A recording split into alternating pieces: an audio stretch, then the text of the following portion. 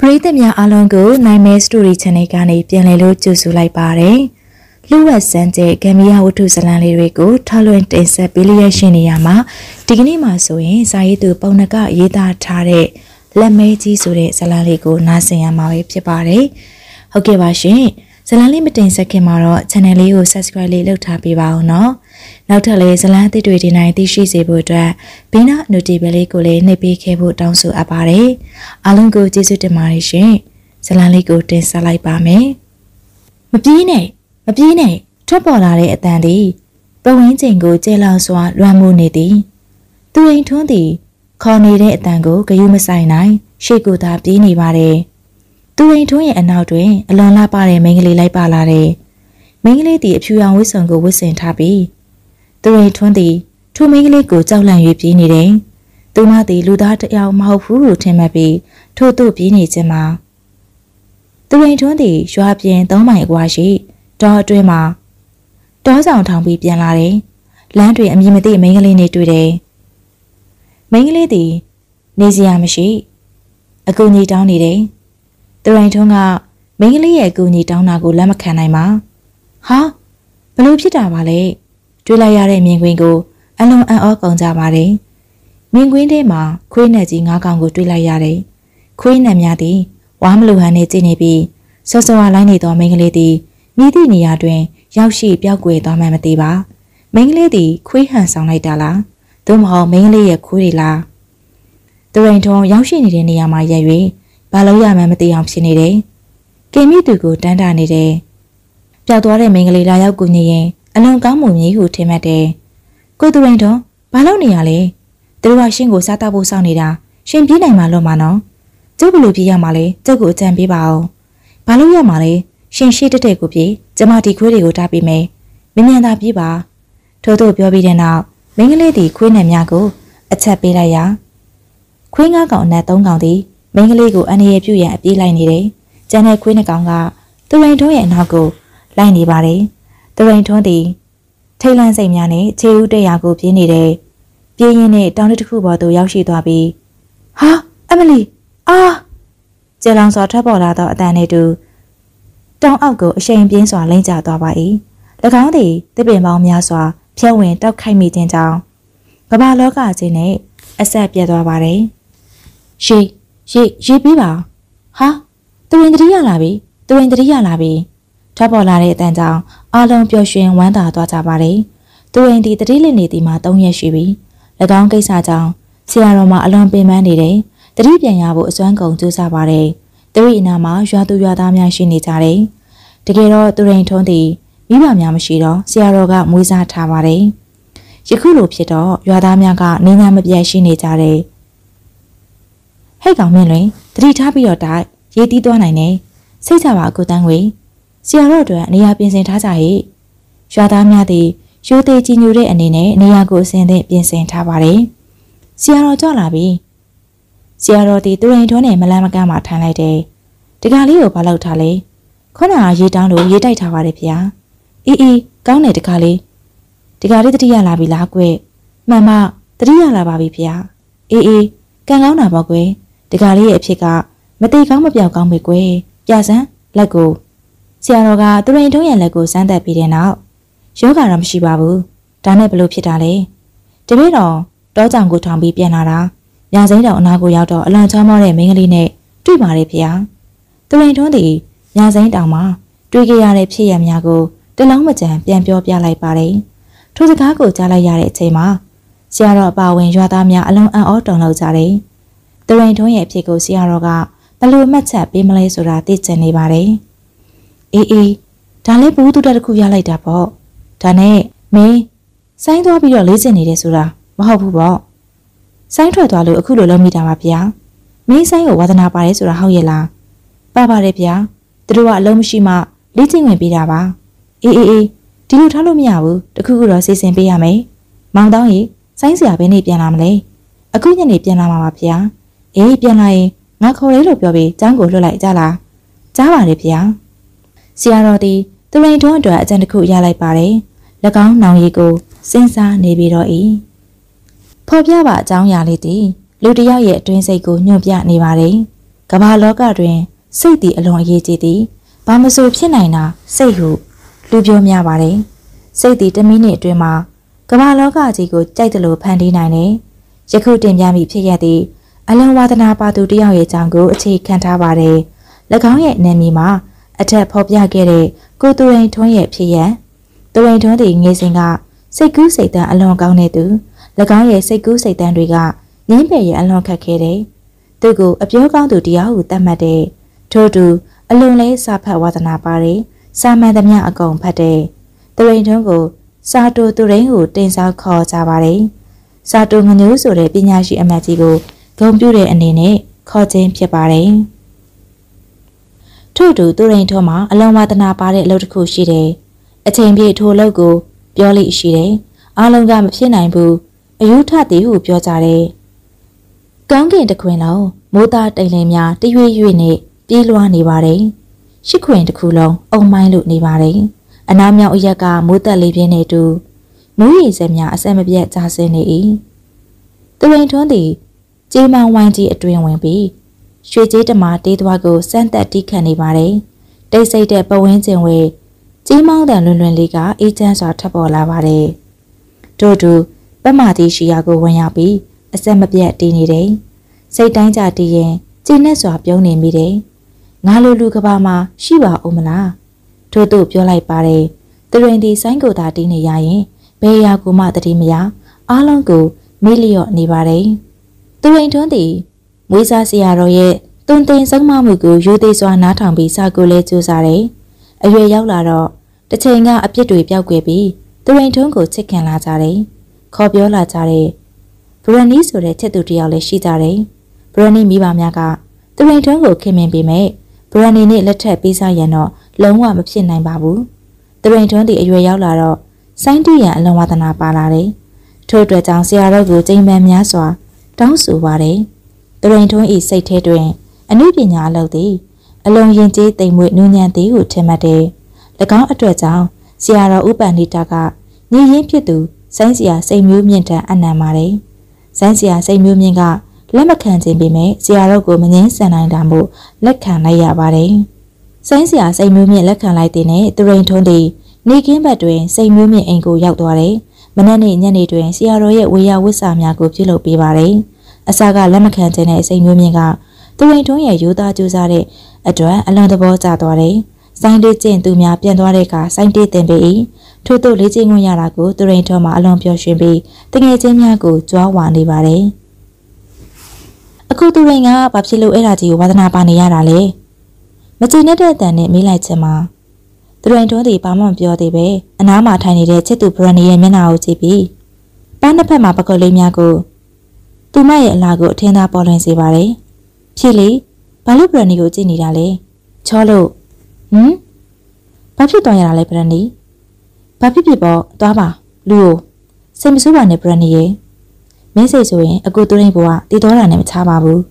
ဒါဆိုရင်ဘရန်နီရဲ့စကားကိုဘာလို့နားမထောင်တာလဲ ဘရန်နီရဲ့စကားကိုနားမထောင်တာမရှိပါဘူးယနေ့ဒီနားထောင်နေပါတယ်အခုသူရဲ့အတွက်နဲ့ဘရန်နီစိတ်မညစ်စေရပါဘူးအခုစိတ်ညစ်နေရပြီလေမလောက်ပါနဲ့လို့တားရင်နဲ့လုံနေရပါတဘောလေဒါကတော့အခုသူရင်ဝါသနာပါတာကိုကွာအဲ့ဒီရရတဲ့ငွေနဲ့ဘရန်နီရှင်းတာနေရမှာကိုပြောတာယုံပါအဲ့ဒါတော့မယုံနိုင်ဘူးအဘစိန်မျိုးမြင်တာမိမဘယ်နှယောက်ရှိတယ်ဆိုတာသိတယ်မဟုတ်လားဘရန်နီရဲ့စကားကိုဘာပြောရမှမသိအောင်ဖြစ်သွားပါတယ်သူရင်တွန်းရဲ့ဆရာ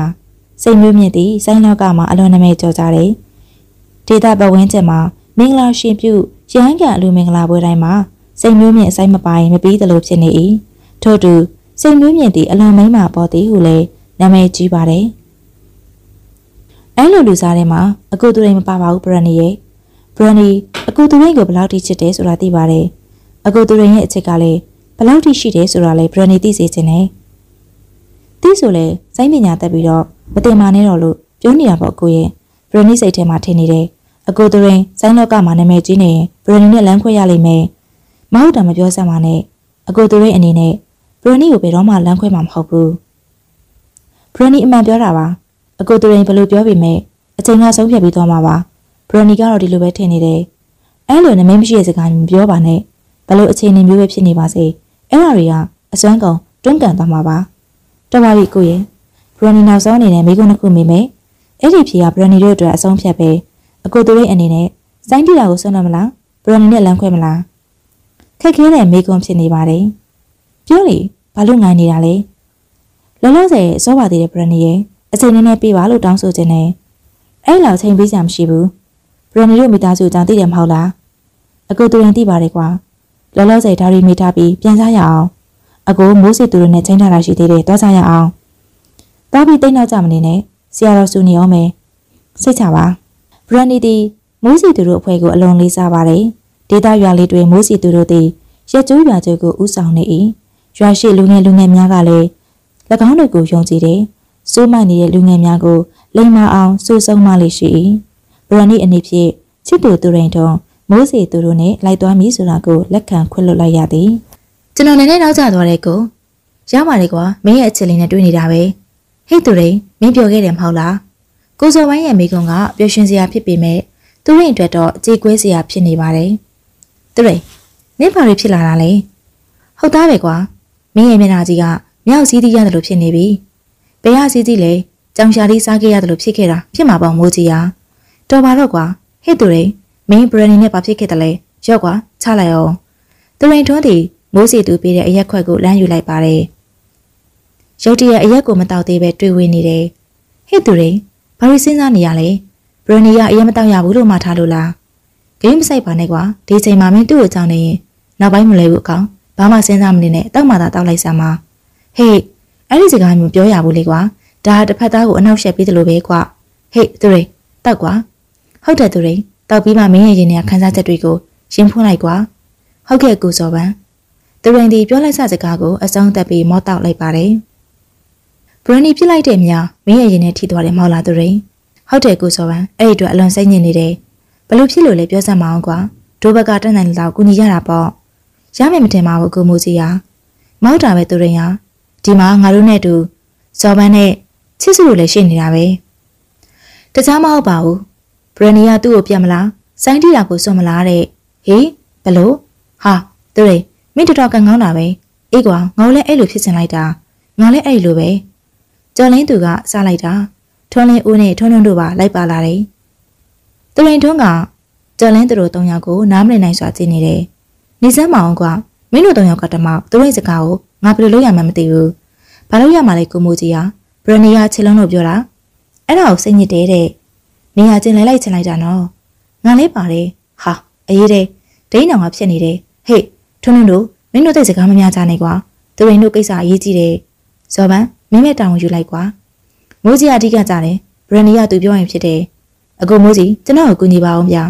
အေးငါကူညီခြင်းနဲ့ခက်နေတာကနှလုံးသားရေးရာကိစ္စဖြစ်နေတော့စဉ်းစားရခက်တယ်အဲ့ဒါအမှန်ပဲကိုမိုးကြီးပြောတာလက်ခံနိုင်စရာရှိတယ်ဘာလို့လက်ခံတာလဲထွန်းထွန်းရဒီလိုလေတော်ကြပါတော့ကွာမင်းတို့ကအရေးတဲ့နေရာဝင်ယူနေကြပြန်ပြီမင်းကဘယ်လိုစဉ်းစားထားလဲသူရိကျွန်တော်ဆန္ဒအမှန်ကဘရန်နီကိုလည်းချစ်တယ်စိုင်းပညာကိုလည်းဆက်တင်ခြင်းသေးတယ်ဘ ရန်နီကအဲ့ဒါကိုပဲမိတာလေဒါကြောင့်အကိုစော်ပန်းတို့ကိုပြောတာပေါ့ဘာပြောတာလဲကြော်လင်းသူရဥစ္စာဆောင်တွေကစိုင်းတီတာကိုနှစ်သက်တယ်တဲ့အဲ့လိုဖြစ်သွားမှကိုစိုးရိမ်နေတယ်ဒါလေးဖြစ်နိုင်တာပဲငါတို့ငငယ်တုန်းကအမေပြောမှုတဲ့အဖြစ်အပျက်တစ်ခုရှိတယ်အလွန်ကြောက်စရာပဲဘာလဲကိုစော်ပန်းဟေးစိတ်တောင်ဝင်စားလာပြီအရင်မွေးနေတဲ့ချိန်မှာနားထောင်ရရင်အလွန်ကောင်းပါပဲကျော်လင်းသူနဲ့ထွန်းလင်းဦးတို့ရဲ့အတိုင်အဖောက်ညီစကားကြောင့်ကိုစော်ဝန်းကျင်းနဲ့စွာပြောလိုက်၏၎င်းတို့သည် လူငယ်တွေနဲ့အတူအရက်တောက်တွင်ထိုစကားတွေကိုပြောရရင်အိမ်ပြန်ဖို့မိနေတတ်ပါတယ်နာမည်ကျော်ဆိုင်ဆရာကြီးဦးကွက်ကျော်ဆိုတဲ့သူတစ်ယောက်ရှိတယ်ကွက်ကျော်ဆရာဆိုလူတိုင်းသိကြတယ်သူဟာစိုင်းတီးတဲ့နေရာမှာတစ်ဖက်ကန်းခတ်တော်တယ်ဒါတွေမင်းလားဆိုတော့မဟုတ်သေးဘူးပါဇက်နဲ့တီးတာလည်းတော်တယ်ဆိုင်းပါပဲပါဇက်နဲ့တီးတာအဝေးကနားထောင်ရင်တကယ်ကိုစိုင်းကြီးတီးနေသလားထင်ရတယ်ဟာအလွန်ကိုတော်တဲ့လူပဲရွာတချို့ကဆိုင်မငါပဲသူတယောက်တည်းကိုသာငားတာရှိတယ်တနေ့ပေါ်လို့ပဲ ခက်တူတူပြောမယ်ပြီးတော့ပြီလားကိုစောပန်းဘာမှလည်းကြောက်စရာမကောင်းပဲနဲ့ဆုံးအောင်နားထောင်ကြလိမ့်ကွာဟုတ်သားပဲထွန်းတော့ရကြားကပြောလိုက်တော့ဘာပြောရမှမသိအောင်ဖြစ်သွား၏အဲ့ဒီလိုနဲ့ဆရာကွက်ကျော်ဟာတစ်ဖက်ရွာမှာပါဆက်ဆိုင်တီးပြီးရွာကိုပြန်လာတယ်လန်တစ်ဝက်ရောက်တော့မိရင်ဆွဲတဲ့လူနှစ်ယောက်နဲ့စုံတယ်ပဲဆိုတော့အဲ့ဒီလူနှစ်ယောက်ကဆရာကွက်ကျော်ကိုပြောတယ်အခုလဲဆရာကွက်ကျော်ဆိုင်းသွားတီးတယ်ဆိုတော့လိုက်လာတာတဲ့အဲ့လိုနဲ့ဘာကိစ္စရှိတယ်လဲမေးတော့ ဒီညရွာတကြီးရဲ့သမီးမင်္ဂလာပွဲရှိလို့လိုက်တီးပေးပါလို့ပြောတယ်ဆရာခွက်ကျော်ကရွာပြန်ပြီးဆိုင်းပြန်ယူမယ်ပြောတယ်သူတို့ကအချိန်မရှိလို့ဆိုင်းပြန်မယူပဲပါဇက်ဆိုင်နဲ့တီးလေးရပါတယ်လို့ပြောပြီးခေါ်သွားတယ်ဒါနဲ့ပဲလိုက်သွားရတာပေါ့အေးဦးလေးခွက်ကျော်ကတယောက်တည်းလိုက်သွားတယ်တော်တော်ကြာအောင်ရှောက်ပြီးမှအလူလုံးမဲ့ရွာကိုရောက်သွားတာတဲ့တရွာလုံးမီးအောင်တွေထိန်ထိန်လင်းနေတာပဲကွာသူရောက်သွားတော့အပြုံးနဲ့ကျူဆူကြတယ်သူလည်းခဏနာပြီးထမင်းစားတယ်ညပိုင်းလည်းရောက်ရော သူစိုင်းတီးဖို့ပြင်ရတယ်တဲ့အဲ့ဒါနဲ့သူကလူတွေထင်ကြည့်အောင်စင်အိုးအသေးလေးတွေတောင်းနေလှလိုက်တဲ့စင်အိုးလေးတွေကွယ်အဲ့ဒီစင်အိုးတွေဘာလို့ဖို့လဲစိုင်းတီးဖို့လေကွယ်ဟာအကူစောပိုင်းကလည်းမဖြစ်နိုင်တာထွန်းတော့ကလေကွာစကားကိုစုံအောင်နားမထောင်ဘူးဟုတ်သားပဲကွာအားလုံးကကိုချစ်စုရဲ့စကားကိုလက်ခံကြတယ်အပြစ်မှာဘလို့ပင်ဖြစ်နေပါစေအယဝိုင်းရောက်လာရင်တော့အပြစ်မှာထက်အားလုံးပို့ပြီးခင်မင်ကြပါတယ်အဲ့ဒီစင်အိုးလေးတွေပေါ်ကိုအဝတ်တစတောင်းယူပြီးအုပ်လိုက်တယ်ပြီးတော့စိုင်းတီးတော့တာပဲ လက်ခုပ်တီးတဲ့အတန်တွေဆူညံသွားတော့တာပဲတော်တယ်ဆိုပြီးချီးမွမ်းလိုက်ကြတယ်ဥပကျော်ကလည်းအစွမ်းကုန်တီးတယ်အားပေးတဲ့သူတွေကလည်းကြိတ်ကြိတ်တူးနေတာပဲတဲ့ဥကွက်ကျော်လည်းဝမ်းသာလွန်းလို့တီးလိုက်တာမနာတန်တီးလိုက်တော့အချိန်တော်ကြာသွားတယ်ပွဲသိမ်းပြီးတာနဲ့ရွာရဲ့တာဝန်ရှိသူများကပတ်စံပေးပြီးအနားယူခိုင်းတော့ဥကွက်ကျော်လည်းပင်ပန်းလွန်းလို့အိမ်မောကျသွားတယ်အဲ့ရကနိုးတော့ရွာမရှိဘူးတဲ့တစ်ပင်တပင်အောင်မှရောက်နေတယ်တဲ့ဟာကြောက်စရာကြီးပဲငါသားစုတေးနိုင်နေ အရေးတောင်ရသိန်းအောင်ထားလာပြီကျော်လင်းသူတို့ကအလန့်တကြားပြောပြလိုက်ပါတယ်အားလုံးတက်ထိတ်လန့်သူကသူရိန်ထွန်ပင်ဒါနဲ့ကိုစောပန်းဘာထက်ဖြစ်သေးလဲသူ့ကိုပေးထားတဲ့ပတ်စံတွေကရောဘယ်ရောက်သွားလဲသူ့ကိုဘာမှတော့မလုပ်ဘူးပတ်စံတွေလည်းမပြောက်ဘူးပျောက်သွားတာကညာတွေးလိုက်တဲ့ရွာကြီးပဲအလုံးအံ့ဩစရာပါပဲဘာအံ့ဩစရာရှိလို့လဲကွာဥကွက်ကျော်အတွက်တော့အလုံးကိုရိုးစင်တဲ့အရာပဲအရက်တောက်လို့ကမဖြစ်နိုင်ဘူးလားဦးစောပန်းဥကွက်ကျော်ကအရက်တောက်တယ်မဟုတ်လား တောက်တာဘောကအရက်ပလင်းသာလဲသွားမယ်ဥကွက်ကျော်ကတော့တောက်ကောင်းနေတော့မယ်ကွာတချို့ကအရက်အိုးကွက်ကျော်လို့တောင်ခေါ်ကြတယ်သူတောက်တာတရေစာရေးဆရာကိုမိမမထင်ဘူးတရေစာရေးဆရာဟုတ်လားကိုမိုးစီသူဟေးအဲ့ဒီကိစ္စလမ်းရောင်မှာပြောကြကွာသွားဖို့ရှိသေးတယ်ဟုတ်တယ်လက်ကြံရှင်းပြီးသွားကြမယ်အားလုံးဒီအရက်လက်ကြံများကိုအသေးသေးခွဲတောက်လိုက်ကြပါတယ်အမောင်တို့ကိုလွှမ်းမိုးထားတဲ့အကာလအချိန်တွင် စကားပြောတန်တဲ့တဲ့ထပ်ပေါ်လာပါတယ်ဝင်းကျင်တစ်ခုလုံးတိတ်ဆိတ်နေတော့လေကြားရင်တဲ့များကတခါတရံထပ်ပေါ်လာတတ်တယ်ထို့သူအနားတွင်ခြေတံလူလူလေးကြားရပြန်နေ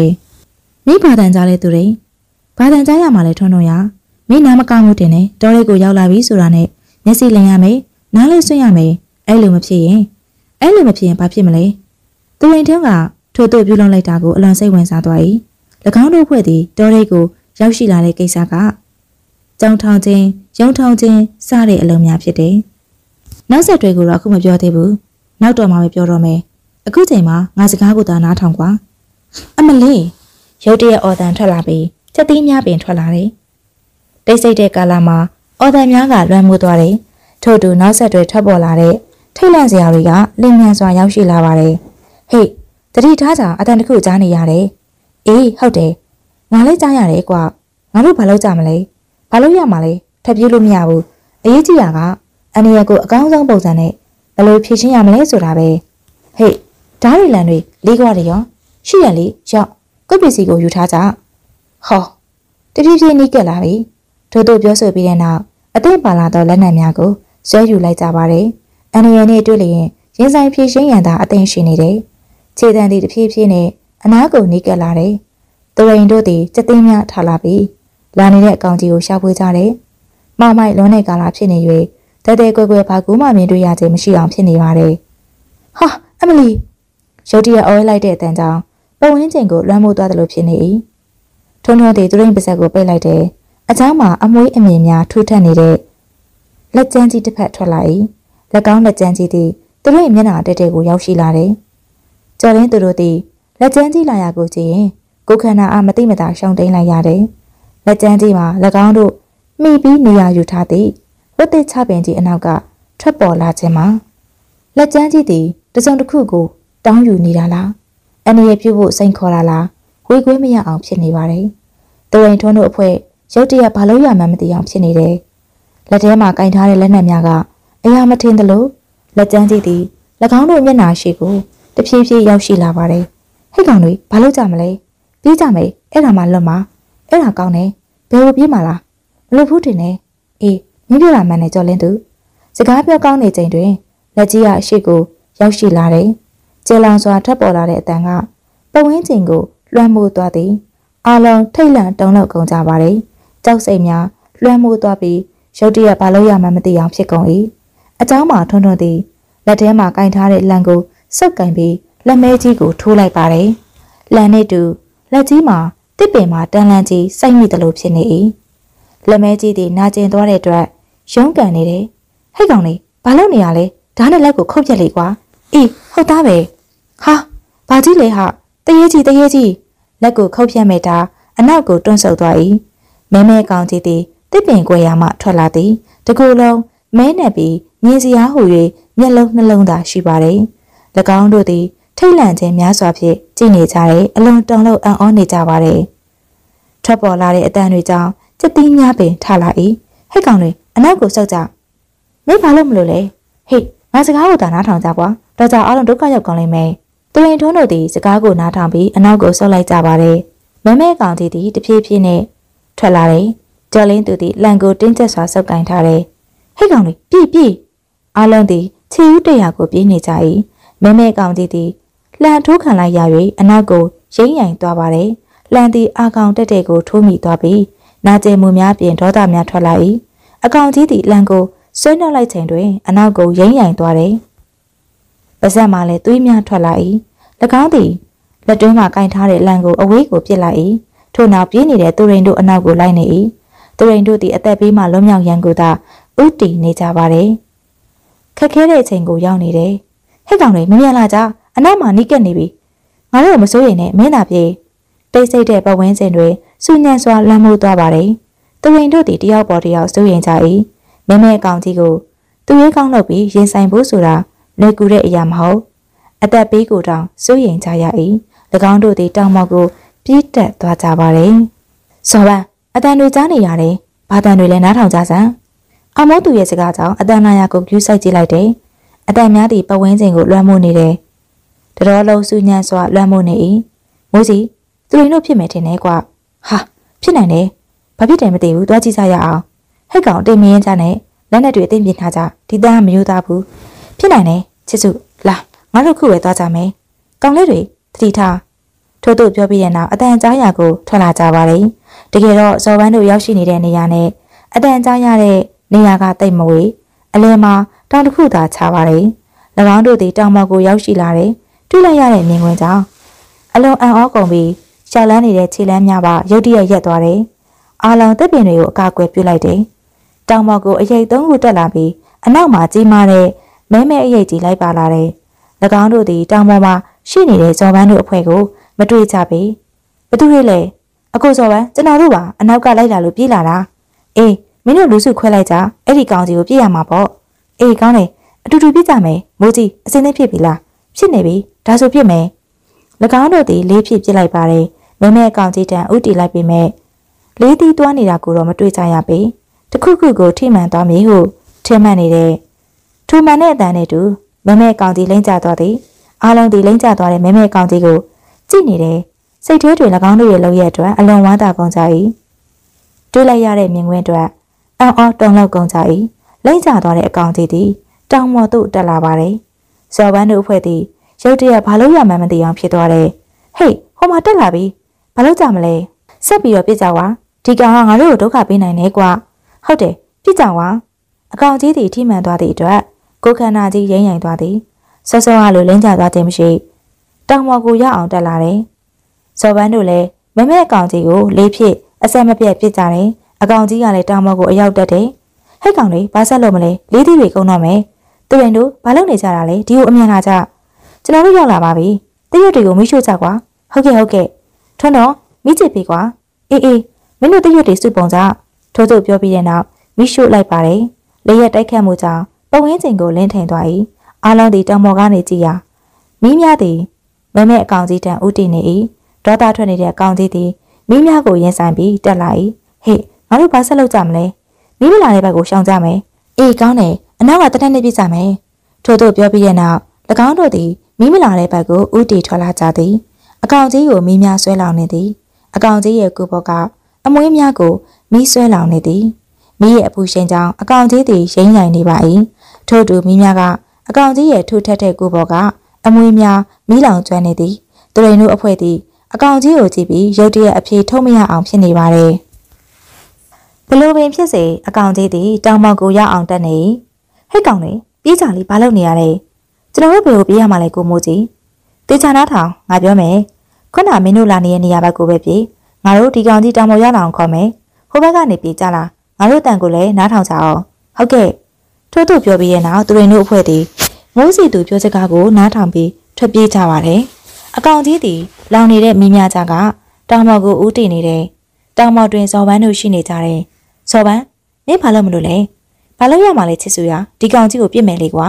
မင်းရလေကွာအရေးဆိုပြစ်မယ်ဆိုတာပဲဟာ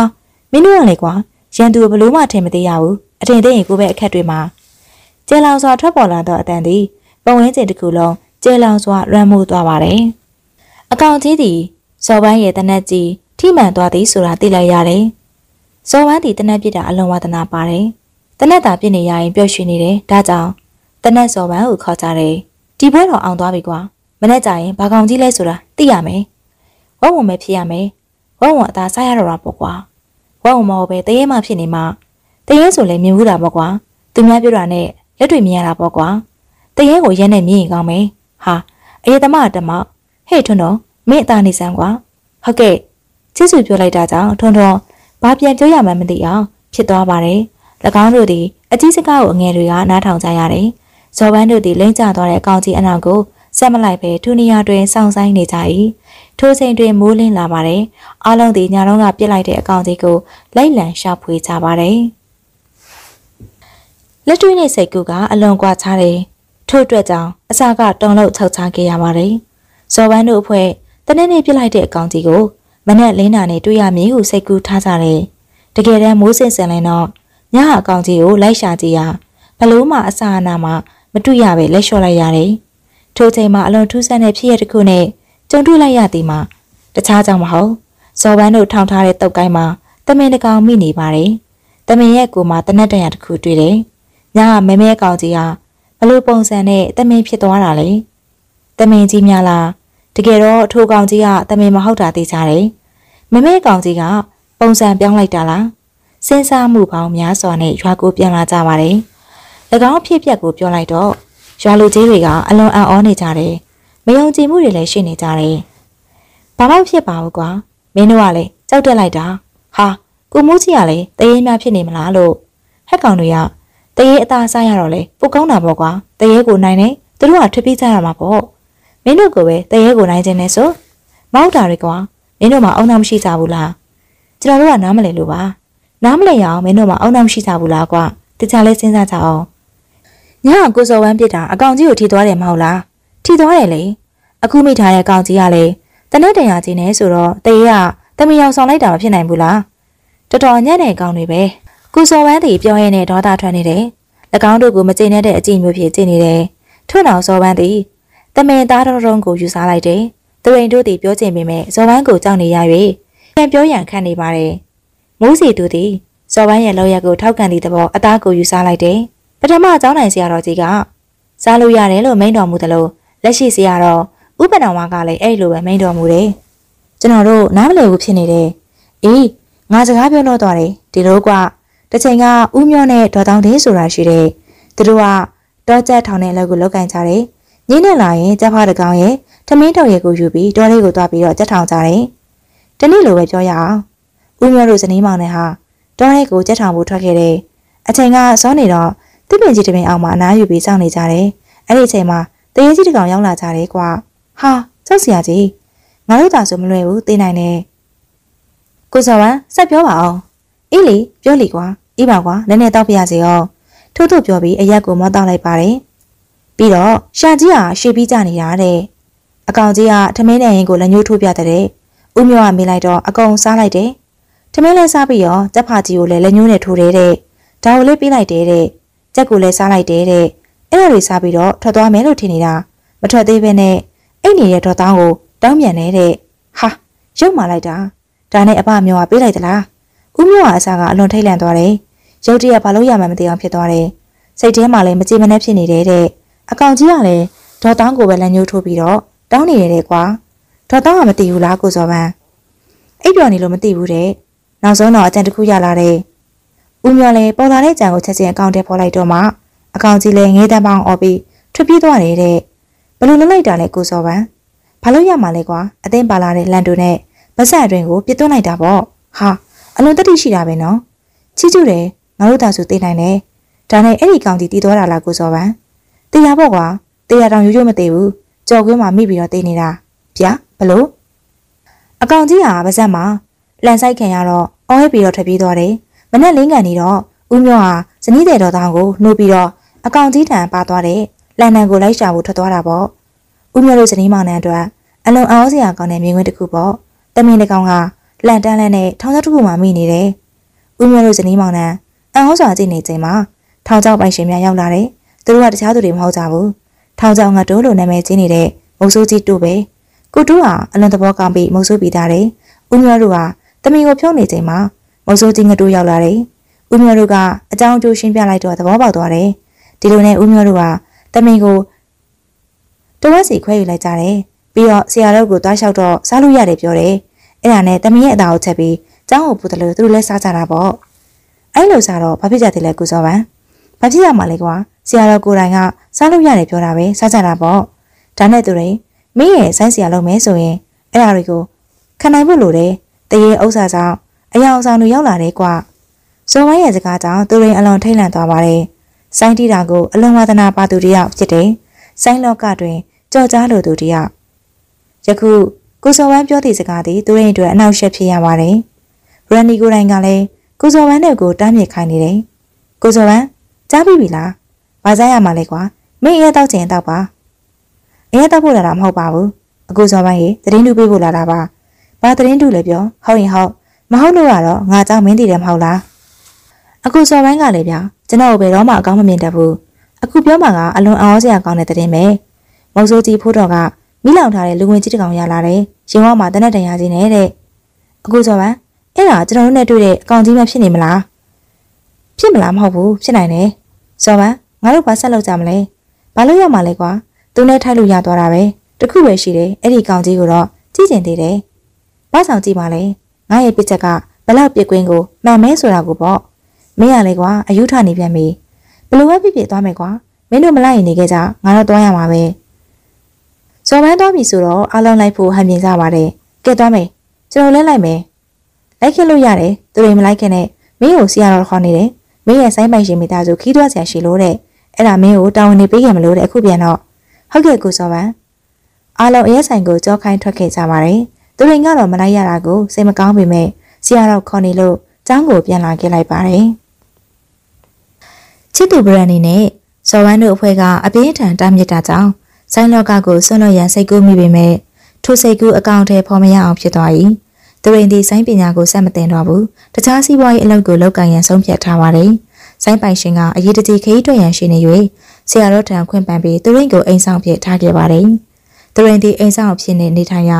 တယောက်တည်းပြင်းပြင်းရှိတဲ့နဲ့အသင့်ပြင်ထားတဲ့ဆိုင်းဝိုင်းကိုတင်းလို့နေပါတယ်။ဆိုင်းတီတာအလုံးဝသနာပါသူတယောက်အနေနဲ့ဆိုင်းဝိုင်းကိုတွေ့လိုက်ရတာမနေနိုင်အောင်ဖြစ်သွားတယ်။သူသည်ကျေးဝိုင်းကြီးအတွင်းကိုဝင်ကရွှေကြီးတမတေးသွားကိုအတန်ဆန်းတဲ့အနေဖြင့်တီးနေပါတယ်။တိတ်ဆိတ်နေတဲ့အချိန်လေးမို့တီးလိုက်တဲ့ကျေးမောင်းတံများကပဝင်းကျင်တစ်ခုလုံးကိုကျေလောင်စွာလွှမ်းမိုးနေတယ်။ဝါသနာကိုထိမ့်ချုပ်မရနိုင်တဲ့သူတွေအတွက်ရေကန်အသင့်ကြာအသင့်ဖြစ်လို့နေပါတယ်။သူသည် ဆိုင်ဝိုင်းများကိုတဝိုင်းပြီးတဝိုင်းကူးပြောင်းတိခတ်နေတယ်။ကြေးမောင်ဝိုင်းကြီးကထွက်ပြီးပတ်မကြီးနဲ့6လုံးပတ်ဝိုင်းကိုဝင်လိုက်တယ်။သူသည်တက်ကြွတဲ့စိတ်များဖြင့်6လုံးပတ်ဝိုင်းကို dress set တီးလိုက်ပါတယ်။သူရင်သည်နှဲကြီးကိုယူပြီးတော့လေမှုတ်လိုက်သေးတယ်။အလိုမင်္ဂလာပြောကြည့်ရဲ့ဒီကွယ်။ဟာမွေးလိုက်တာဘယ်ရပါလဲထွက်ပေါ်လာတဲ့အနံ့တွေကိုရှောက်ဖွေးတယ်။ခဝေးပြီးမှတိုက်ခတ်လာတဲ့လေးနူအေးသည်သူရရဲ့ရင်ကိုအေးချမ်းပေမဲ့ ထွက်ပေါ်လာတဲ့အနံ့ကြောင့်ထိတ်လန့်မှုများစွာ ဖြစ်ပေါ်လာပါတယ်။ကြောက်စိတ်များလွှမ်းမိုးလာတယ်။မိုးကာလမို့မိုးဝင်မိုးဆက်များကျလာတယ်။မိုးသက်လေးပြင်းများတိုက်ခတ်နေ၍အနံ့ကပုံမူထွက်လာတယ်။မိုးကတော့လှုပ်ချလိုက်ပြန်ပြီကွာ။အပြစ်တင်တဲ့သဘောဖြင့်ငင်းယူလိုက်တယ်။ဆိုင်းတွင်းဝိုင်းမှာအလုံးရှုံနေတဲ့သူရင်တယောက်မှာတော့ခါကိုဆန်ပဝင်းကျင်ကိုငဲကြည့်နေ၏။ထွက်ပေါ်လာတဲ့အနံ့တွေကမွေးသလိုနဲ့ပဝနံများဖြစ်နေတယ်လို့ထင်ရတယ်။ တခါတရံမှာနှစ်သက်ဖြူအနံ့ရတယ်။သူရင်ဒီအပြင်ထွက်ရန်စိတ်ကူးမိတယ်၎င်းကြောင့်ထိုင်ရမှထားလိုက်ရဆိုင်းကားကြံလို့ပါအမလီလမ်းလိုက်တာဗျာပဝင်းကျင်တွင် အမောင်တို့များစတင်ဝင်နေချိန်တွင်ရုတ်တရက်ထွက်ပေါ်လာတဲ့အတန်ကြောင့်အထိတ်တလန့်ဖြစ်သွားပါတယ်အင်းရှိတစက်မိတ်အောင်အပြင်ဘက်တွင်အသက်20ကျော်မိန်းကလေးတယောက်မိန်းကလေးရဲ့ကိုယ်လုံးမှာမိုးရေများဆွဆွနေ၏သူတို့သည်ဆိုင်းဝိုင်းအပြင်ကိုထွက်ခဲ့တယ်သူတို့နှစ်ယောက်ကို တစက်မိတ်ကကြနေတဲ့မိုးရေစဲများကချားပေးနေတယ်လို့ဖြစ်နေတယ်ဒါဆိုင်းစရာစိန်ဝင်းမြအိမ်ဟုတ်ပါသလားဟုတ်ဟုတ်ပါတယ်စိတ်ငါမလို့လားလာပါခင်ဗျာအိမ်ထဲကိုဝင်ထိုင်မအောင်အပြင်မှာမိုးရီရွာနေတဲ့ထို့သို့ပြောပြီးတဲ့နောက်နှာခေါင်းကိုတစ်ချက်နှစ်ချက်ပုတ်လိုက်သေးတယ်ရေမွေးနှံလို့လို့ပုတ်တဲ့အနှံလို့လို့ဖြစ်နေတယ်စိတ်ထဲတွင်မိန်းကလေးကိုအားနာနေတယ်မိန်းကလေးရောက်ရှိလာမှထိုအနှံ့ထွက်လာတယ်မိန်းကလေးကအထင်သေးသောမှကိုလည်းစိုးရိမ်နေ ဘာနဲ့တွင်နန်းနေလို့လဲရှင်ကျမစီယာနန်းနေတယ်အားနာလိုက်တာရှင်အဖေရဲ့နာရီမို့လို့ရေမချိုးဖြစ်ဘူးမဟုတ်ပါဘူးရေမွေးနှံကပြင်းလို့လို့ဖြစ်တာပါဒီနှံကမကြခဏရနေကြပါအော်ဟုတ်လားမသိပါဘူးရှင်ကျမရဲ့ကိုကအနာမကောင်းတာလားလို့ပါဒါနဲ့ရှင်ကဆိုင်းစရာစိတ်ဝင်းမြင်လားစိတ်ဝင်းမြင်ဆိုတာကျွန်တော်ဆရာပါအခုဆရာကခရီးထွက်သွားလို့ပါဆိုင်းဝိုင်းနဲ့ပတ်သက်သမျှသူ့ရဲ့တပည့်ကျွန်တော်ကိုပဲအကုန်လွှဲထားခဲ့ပါတယ်ဝါတွင်းကြီးဆိုတော့အလူမင်္ဂလာပွဲတော့ မဟုတ်ဘူးတင်နေဖျားပွဲလားဘာပွဲအတွက်လာငားတာလဲအာသူဘကျမရဲ့အာသူဘဗျာဘလို့ရုတ်တရက်ထိတ်လန့်သွားပြီစက်သိမ်းများထလာပါတယ်စိုးရိမ်စိတ်များစွာထွက်ပေါ်လာတယ်ကိုယ့်ရဲ့အာသူဘအခမ်းအနားအတွက်ကိုယ်တိုင်ဆိုင်းလာငားတယ်ဆိုတော့သူတို့အတွက်အလွန်ကိုအံ့ဩထိတ်လန့်စရာကောင်းနေပါတယ်အိုးအိုးကျမစကားပြောလောသွားတယ်ကျမပြီအာသူဘပါတော်ပါသေးရဲ့ကျမဖေကမြမဆိုင်ကိုအလွန်လေးစားမြင်လို့သူတယောက်ပါရွာနီးမှာရှိတဲ့အလူတွေမှာဆို ဆိုင်းဝိုင်းတာထင်လို့ကတော့နွေနွေမိုးမိုးဆောင်ဆောင်မဖြစ်မနေကိုရောက်သွားပြီးနားထောင်တတ်တယ်။အိုးဒါရင်ဘေကမလဲနတ်ပွဲအိုးစီတိုးပတ်အငိတ်ဇက်တွေးသမျှဆိုင်းဝိုင်းပေးမှာညာလုံးပေါမိုးလျောင်နားထောင်တာအဖေပါရှင်။ဝါသနာတော်ကြီးပုံရတယ်။ကြီးသမားကိုယ်တိုင်လဲတီးတယ်မှုတ်တယ်စိုးကတက်ပါတယ်။ကောင်းတယ်ဗျာကျုံနဲ့တူလိုက်တာဒါရင်ပဲဟုတ်အောင်ပါလေဘုံတူဘုံရှိပက်လဝိုင်းပတ်မာကြီးအကုန်ဝယ်ပြီးတော့စုထားတယ်အိမ်မှာစိုင်းဝိုင်းကြီးတစ်စုံသာအပြည့်စုံရှိတယ် အငားလိုက်တာမဟုတ်ဘူးဝါသနာအရောက်ဝယ်ထားတာအခုတော့အခုတော့အဖေမရှိတော့ပါဘူးရှင်မင်းညကပဲစုံသွားကြပါပြီအော်ဖြစ်မှာဖြစ်ရလေစိတ်မကောင်းစရာပါပဲဗျာစိုးနဲ့ကြေကွဲနေရှာတဲ့မိန်းကလေးကိုချက်ချင်းတနာသွားမိတယ်စိတ်ထဲတွင်လည်းကိုချင်းစားမိ၏ဆိုင်းကိုမျက်နှာသူတယောက်လူလောကကိုစွန့်ခွာသွားသည်မှာအလောင်းနှမျောတန်တဖြစ်မိပါတယ်အဲ့ဒါတပတ်ခါတကြိုမှာပါအဖေရဲ့အာသူပါမှာအဖေဝါသနာပါလုံးနဲ့ဆိုင်းဝိုင်းနဲ့တိုက်တိုက်မြတ်မြတ်တကြိုချင်ပါတယ် အဲ့ဒါကြောင့်ရှင်တို့ဆိုင်းခွဲကိုလာငားတာပါလက်ခံနိုင်မယ်ထင်လို့ပါရှင်ဟုတ်ကဲ့လက်ခံနိုင်ပါတယ်ဆိုင်းဝိုင်းပစ္စည်းတွေကရှိပြီးသားမို့ယူလာစရာမလိုပါဘူးဆိုင်းသမားတွေကြီးတီးတန့်ငားကြပါတယ်ရှင်ဟုတ်ကဲ့ဖြစ်ပါတယ်ဒီရက်မှာပွဲထွက်ရမရှိသေးပါဘူးဘယ်ရွာကိုလဲသိပြရစေကျမတို့အိမ်ကရွာထဲမှာမဟုတ်ဘူးရွာနဲ့တစ်ခေါက်လောက်ဝေးတဲ့ရွာကပါရွာရွှေဦးကြရွာပါတစ်ချိန်ကရွှေဦးကြရွာဟာကျမတို့အိမ်ကိုဝိုင်းပြီးရွာတည်ထားတာပါရွာလေးရဲ့အိမ်ကြီးပေါ့ရှင်အခုတော့ကျမတို့အိမ်ကြီးကရွာရဲ့မြောက်ဘက်မှာပါ ရွှေဦးကြရွာရောက်ရင်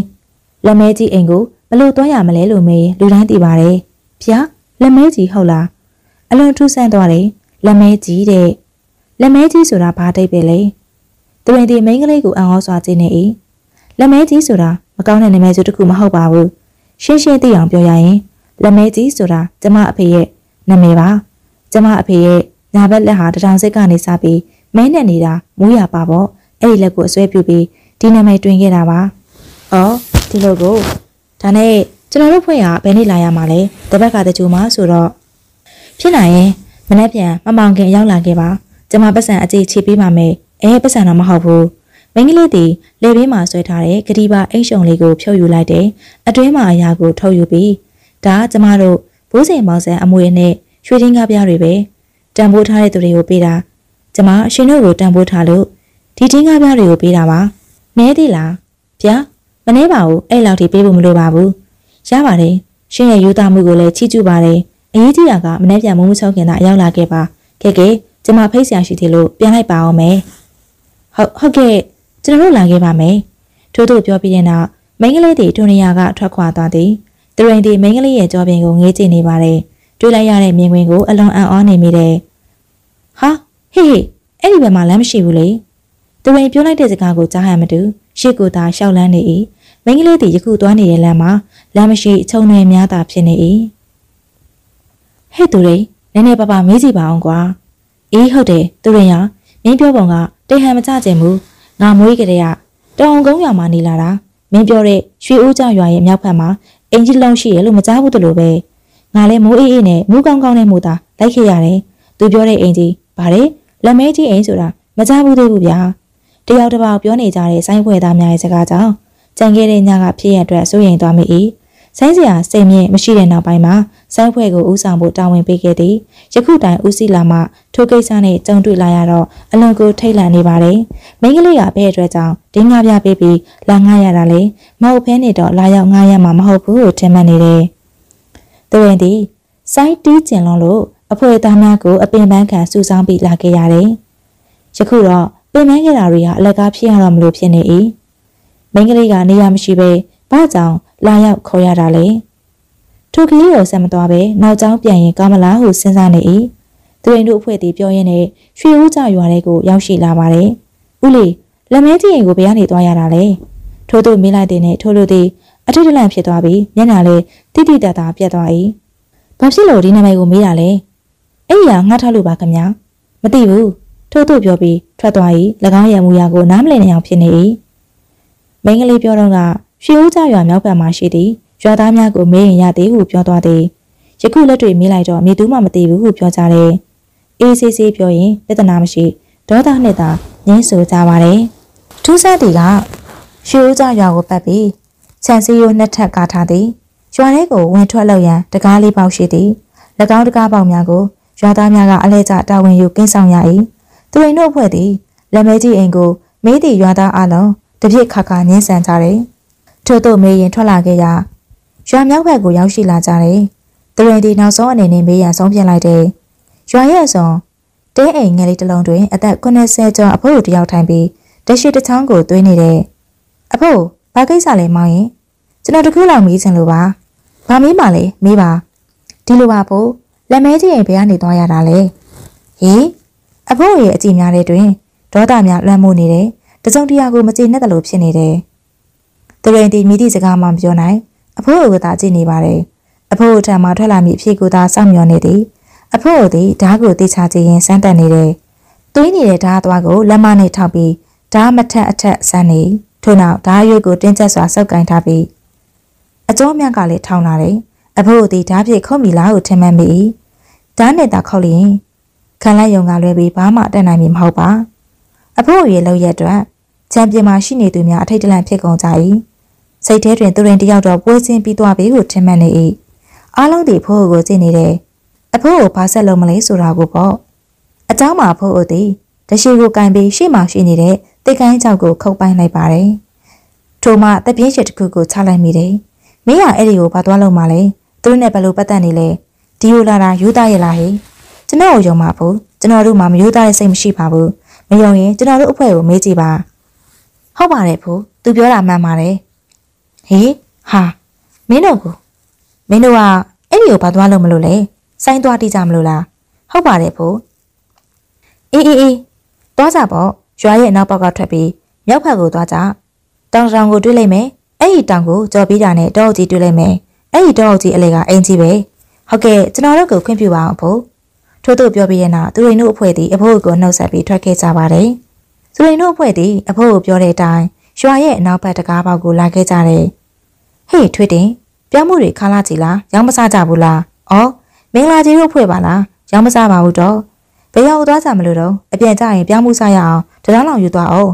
အေးအေးအေးယူရလဲယူတာပေါ့နေ့ယောက်ျားစိန်ဖို့အေးအရက်တောက်တော့မယ်လားဟုတ်ပါတော့မင်္ဂလာကြီးနဲ့တွေ့တဲ့အခါစုံမခဲ့ပါအောင်อืมဒီကောင်က စုံမရအလွန်ခက်တာပဲတောင်းမယ်ဟိဟုတ်ကဲ့ပါတော့အပြန်ဝင်ခဲ့အောင်နော်ဝင်ခဲ့ပါမယ်ဟာမင်္ဂလာကြီးကိုကြည့်ပြီးဝမ်းသာပီတိဖြစ်သွား၏စွမ်းလာကြည်လားမင်္ဂလာကြီးဟာမျက်စိမမြင်ဘဲနဲ့ရွှေဦးကြရွာမှာနေတဲ့စိန်ဘိုအေးရဲ့မိမထွေးတင်ခွာနေတဲ့ပြောင်းမှုတွေကိုဘယ်လိုလုပ်သိလဲမင်းရဲ့မင်္ဂလာကြီးရမ်းပြီးတော့ပြောနေတာမှသူရင်ရဘယ်တော့မှရမ်းမပြောဘူးစိန်မင်းမင်းလိုအရက်သမားအိုးနှင်းခွန်းနေဖြစ်နေရင်တော့မှတ်မိတယ်ထို့သို့ပြောရင်ရွာရဲ့နောက်ပေါက်ကိုရောက်ရှိလာကြပါတယ် ရွာသား၃-၄ယောက်ကမကောင်းဆိုးရအိမ်ကိုမသွားရန်တားမြစ်ကြတဲ့ဘလို့ပင်ပြောပေမဲ့ဂယုမဆိုင်ဆက်လက်သွားကြပါတယ်သူရင်ဒီတားမြစ်မှုတွေကိုကြော်ဖြတ်ပြီးလက်မဲကြီးအိမ်ကိုစိတ်ဝင်စားတယ်။၎င်းတို့ကရဲရဲဆက်ဆက်ပြောရအောင်အဲ့ဒီလောက်ပဲတကယ်စိုးနေလို့လားလက်မဲကြီးသည်စုံကဝေအတက်ကိုဘသူထံကတင်ယူခဲ့ပြီးထူပညာကိုအီးများလောက်တကြွနေလို့လေသူရင်သည်လက်မဲကြီးရဲ့အကြောင်းကိုစဉ်းစားရင်အလွန်ထိတ်လန့်လာတယ်ဘလို့ပင်ဖြစ်ပေမဲ့အင်ကြီးကိုတော့ ရောက်အောင်သွားရမည်သူရင်တို့အဖွဲ့သည်အဖိုးအရဲ့ညွှန်ကြားတဲ့အတိုင်းခရီးဆက်လာခဲ့ရာအတော်ပင်ရှောက်လန်းနေကြပြီမဲ့အင်ကြီးရှိရာကိုအစအနပင်တွေ့မြင်ရခြင်းမရှိသေးပါသူရင်ရွာသားတချို့ပြောသလိုဖြစ်နေပြီလားမသိအောင်ဖြစ်နေပြီ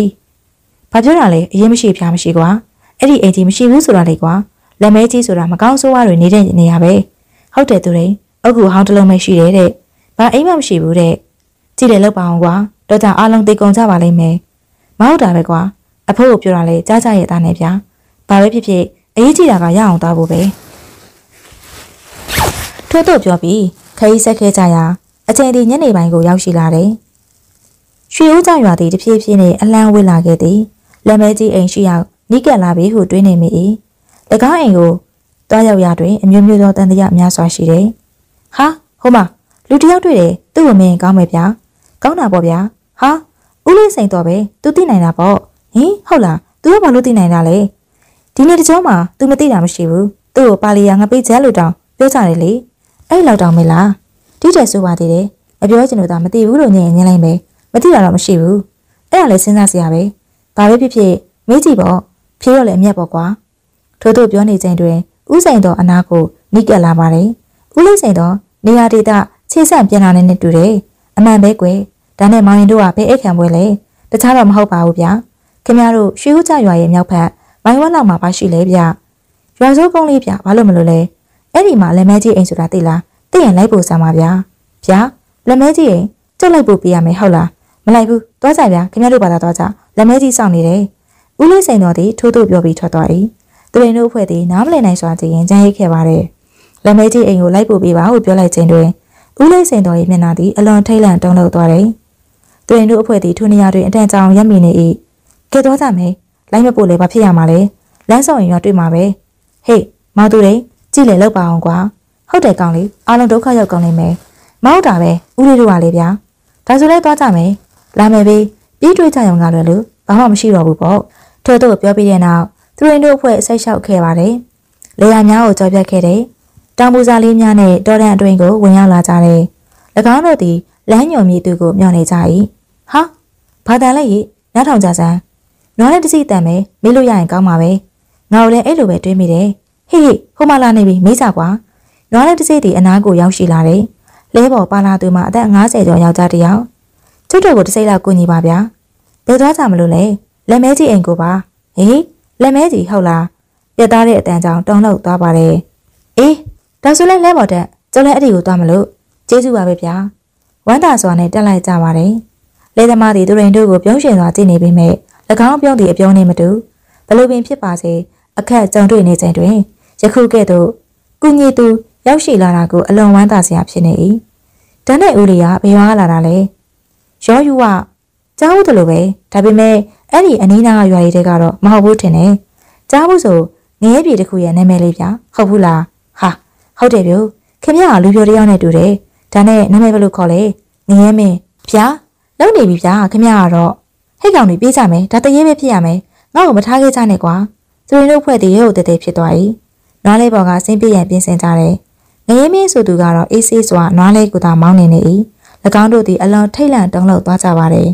ငရဲမင်းဆိုသူကတော့အဲ့လောက်လည်းဖြစ်မနေကြပါနဲ့မိတ်ဆွေတို့ရာကျုပ်ရဲ့နာမည်ကရဲမင်းမောင်ရဲမင်း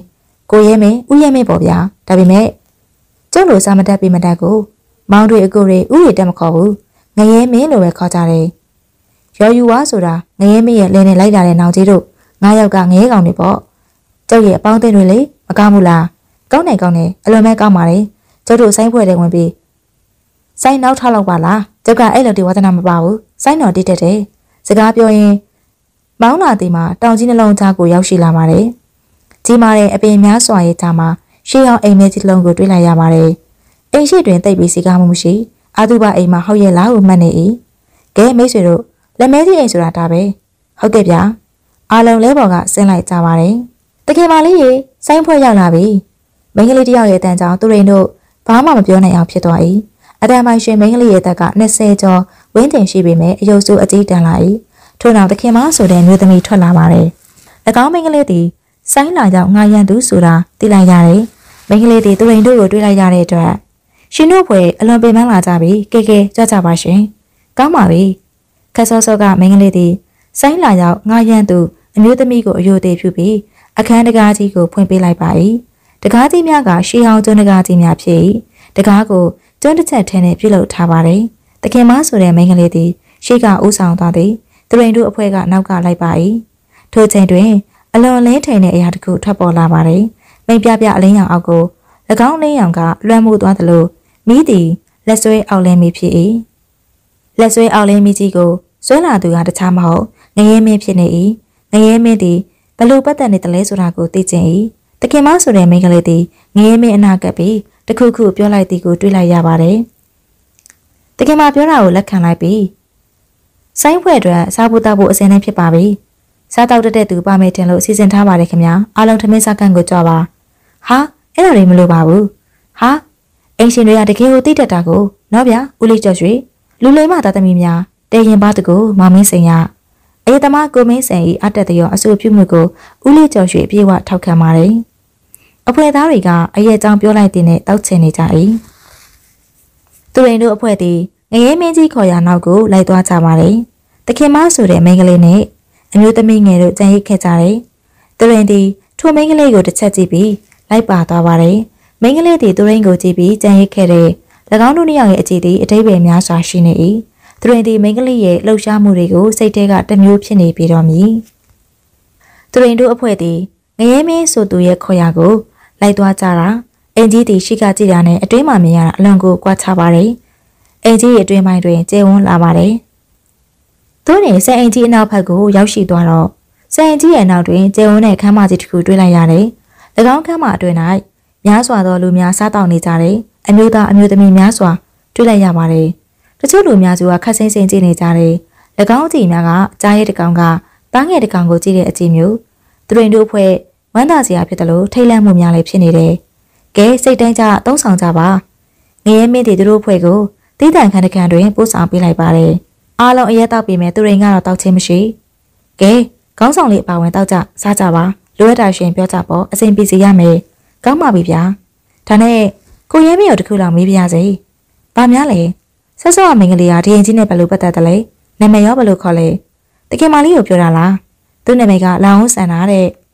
လောင်တကင်မလေးလို့ခေါ်ကြတယ်လက်မဲကြီးရဲ့သမီးပဲဘာဖြစ်လို့မေးရလဲတကင်မလေးလို့ခေါ်ကြတာကိုစိတ်ဝင်စားလို့မေးတာပါအော်အော်ကဲကဲကဲစားကြပါစားကြပါထို့သို့ပြောလိုက်တဲ့အဖွဲသားများသည်အရက်နှင့်စားစရာများကိုစိတ်ကြိုက်စားကြပါတယ် စားစရာများသည်ဘယ်ရတာနဲ့မှမတူမွေးကြိုင်ပြီးအလွန်ကောင်းနေပါတယ်လွတ်လွတ်လပ်လပ်စားကြတောက်ကြပါရှင်ပြီးမှကျမအဖေခန်းလေးကိုလိုက်ပို့ပေးပါမယ်အဲ့ဒီအဖေခန်းထဲမှာစိုင်းဝိုင်းတွေအစင်သင့်ပြင်ဆင်ထားပါတယ်ငရဲမင်းဧည့်သည်တွေစားတော့ပြီးကျမကိုလာခေါ်လိုက်ပါဟုတ်ကဲ့ပါတခင်ပါစားကြနော်ဘာမှအားနာစရာမရှိဘူးဟုတ်ကဲ့ပါထို့သို့ပြောပြီးတဲ့နောက်လောင်ဆန္ဒသခင်မှအနာကနေထွက်ခွာသွားပါတယ်။သူရင်ဒီအနာကထွက်ခွာသွားတဲ့သူမကိုကြည့်ရင် တခြားနေရာများကိုကြည့်မိတယ်။အเจ้าမှာ၎င်းတို့အဖွဲ့ကိုကြွေးတယ်လို့တခြားအဖွဲ့များကိုကြွေးသလားဟုသိကျင်စိတ်ဖြင့်ကြည့်နေပါ၏။အခြားမှာထူးဆန်းနေတာကမြေဝိုင်းထမင်းစပွဲခုံကိုဝိုင်းထိုင်ပြီးရှေးဟောင်းဒေါင်းလန်အဝိုင်းများပေါ်တွင်စားစရာများစုပုံထည့်ထား၏ထို့တူဒေါင်းလန်ကြီးများနှင့်ထမင်းထည့်ပြီးစားကြရသည်တဦးတယောက်တည်းမဟုတ်အားလုံးပါထိုးကဲ့သို့စားကြရပါတယ်။အားလုံးရဲ့ဝေစားများသည်သူရင်တို့အဖွဲ့လိုပုံစံမဟုတ် နန်းဆန်နေသည့်ရွှေစိန်ပရံများများကိုလက်ဝရဏနာဖြင့်ပြုလုပ်ဝတ်ဆင်ထားကြသေးသည်။သူစင်းရဲသားများမရှိသလောက်ရှားပါပါတယ်။စားတာပြီးသူများသည်၎င်းတို့ရောက်ရှိနေတဲ့အခန်းထဲကနေအပြင်ကိုထွက်သွားကြတယ်။ဒီလူတွေကဘာလူတွေလဲကွာ။ငါတို့အရှင်လက်လက်ခရမ်းကိုပြန်ရောက်နေတယ်လို့ခံစားရတယ်။ငါတို့အဖိုးတွေခေတ္တကအဝတ်စားတွေဝတ်လို့ကွာ။ဒီလူတွေမမရင်ငါတို့ဖွယ်မနေတာပဲ။ဒေချာတာကတော့ငါတို့တခုခုမားနေပြီကွာကုံကုံပြောရရင်ငရဲမင်းဆိုတဲ့မင်းဟာစာခက်ဆန်းဆန်းပဲ ကိုနဲ့မပတ်သက်တာတွေဘာလို့စိတ်ဝင်စားနေရလဲဦးကြည့်ချိုရှိသူတို့ဘာသာဘာဖြစ်ဖြစ်နေတဲ့အေးစီးလေးပါကြောက်သိကျင်တာပြပြတဲ့တခုကတော့သူတို့ကလက်မဲကြီးရဲ့အာသူဘကိုရောက်ရှိလာကြတဲ့သူလေးဆိုတာပဲဟုတ်တယ်ဦးလေးကြောက်ရွှေငရဲမင်းပြောတာတမတမတ်ကြတယ်အဓိကကျုပ်တို့စိုင်းတီးဖို့လာကြတယ်ကျုပ်တို့ဖွဲ့ကိုအင်ရှင်အိတ်ခံနေကျုပ်တို့ကဧည့်သည်တွေကိုအိတ်ခံရမယ်ရှင်းရှင်းလေးပဲလေ